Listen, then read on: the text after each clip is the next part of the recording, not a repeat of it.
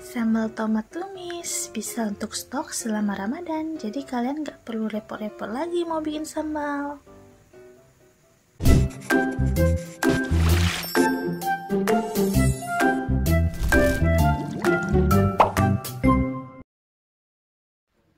Buat pecinta pedas, wajib stok ini.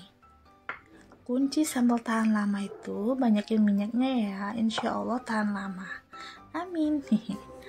Dan sambal ini bisa dipakai untuk masak sambal terong, sambal ikan patin, sambal ayam, dan segala jenis makanan. Cocok pakai sambal tomat ini. Dijamin mantul. Untuk bahan dan stepnya, tonton video ini sampai habis ya. Thank you and for thank you.